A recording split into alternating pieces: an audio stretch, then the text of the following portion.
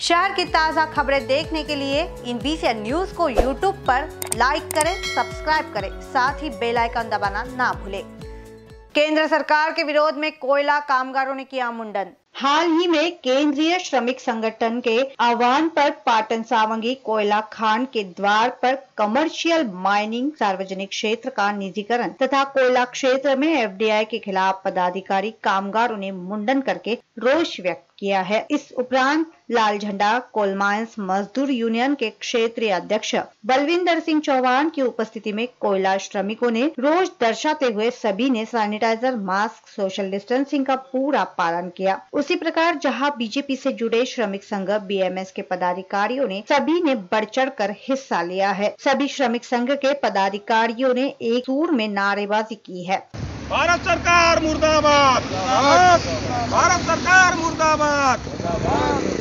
Commercial mining सार्वजनिक क्षेत्र का निजीकरण तथा कोयला क्षेत्र में एफडीआई के खिलाफ विरोध जताया। मुख्य रूप से बलविंदर सिंह चौहान प्रवीण लाकड़े श्याम मोहन बिठालू श्यामलाल कनौजिया स्वप्निल खोबरागड़े अक्षय कामड़े जियालाल पाली सुरेश मनगटे एवं बड़ी संख्या में कामगारों की उपस्थिति थी।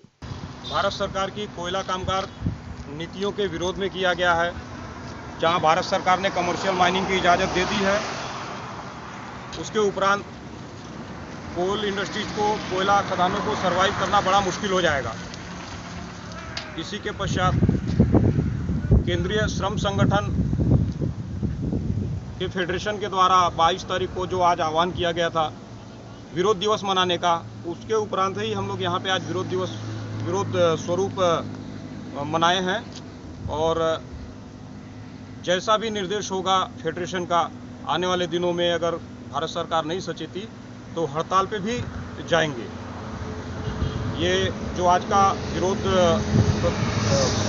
दिवस मनाने का जो आह्वान केंद्रीय श्रमिक संगठनों की, ने किया था, उसके उपरांत हम लोगों ने जो विरोध मनाया है, उसमें आप लोगों की उपस्थिति जो हुई है, उसमें उसके लिए सभी को धन्यवाद।